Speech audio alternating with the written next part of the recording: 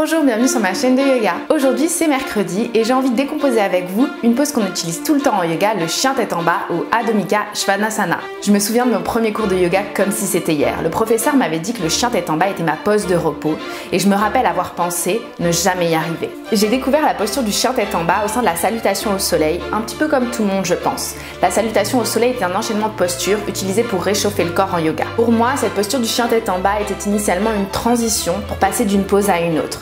Mais avec le temps, j'ai découvert que c'était vraiment une pose à part entière qui avait de nombreux bienfaits sur le corps. Le chien tête en bas est aussi appelé V inversé, tout simplement par la forme que prend le corps lors de cette pose. En réalisant ce V inversé, nous sommes dans une inversion et nous impliquons de nombreux muscles de notre corps. Les bienfaits de la pose sont multiples. Le chien tête en bas dynamise le corps, tonifie et détend les muscles de la colonne vertébrale et du bas du dos, travaille les hanches et le bassin, ouvre les épaules, la poitrine et permet donc de mieux respirer, assouplit les muscles des mains, des poignets, des pieds, des chevilles et des jambes et particulièrement des ischio-jambiers, améliore la digestion, augmente la circulation sanguine et permet donc une meilleure irrigation du cerveau, ralentit le rythme cardiaque, ce qui permet de sentir son esprit apaisé, relâché. Vous voyez, pas évident de se rappeler tous ces bienfaits tellement cette pose en a. Et si on la décomposait ensemble Allez, c'est parti On va débuter en se mettant sur nos genoux et puis on va venir dans la pose de l'enfant qui est la pose restaurative par excellence en yoga. Pour cela, on va amener le torse puis le front sur le sol, on relâche les bras et les mains à l'avant. Respire profondément. On va essayer de rendre cette pose de l'enfant active pour relâcher tous les muscles de notre dos et les étirer. Donc pour cela, on va repousser le sol avec les mains, tendre bien les bras et amener les fessiers vers nos talons. On ramène le torse sur le sol et on respire profondément. On essaie de détendre les épaules et les mâchoires.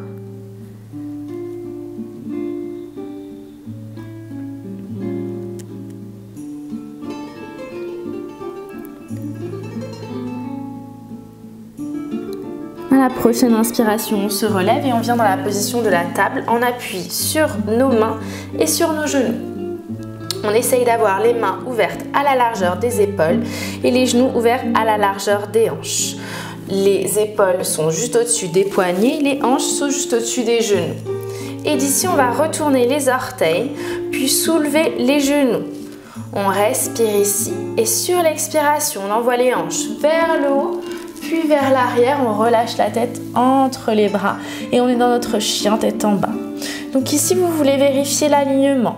Vous vérifiez que les mains sont ouvertes à la largeur des épaules, les pieds à la largeur des hanches. Si vos talons ne touchent pas le sol, ça n'a aucune importance ici. Ce qu'on veut dans cette pose, c'est bien écarter les épaules des oreilles et bien allonger la colonne. Pour avoir le dos bien long, souvent, ça aide d'avoir un micro-pli dans les genoux. On relâche bien la tête entre les bras et on essaie d'écarter les épaules des oreilles. Donc pour cela, je vous invite à ramener les épaules près des oreilles et à faire exactement le mouvement inverse pour créer de l'espace. On pousse bien dans les bras, on allonge les bras et on respire profondément ici, on relâche complètement la nuque. Pour trouver la distance idéale entre vos mains et vos pieds, il suffit de venir vers l'avant et de venir en planche. Positionnez-vous dans la planche et quand à l'expiration, vous remontez, vous ramenez vos pieds vers l'avant d'un pied. Si vous sentez que les muscles à l'arrière de vos jambes sont trop tendus, n'hésitez pas à ramener alternativement un talon puis l'autre vers le sol pour les détendre en douceur.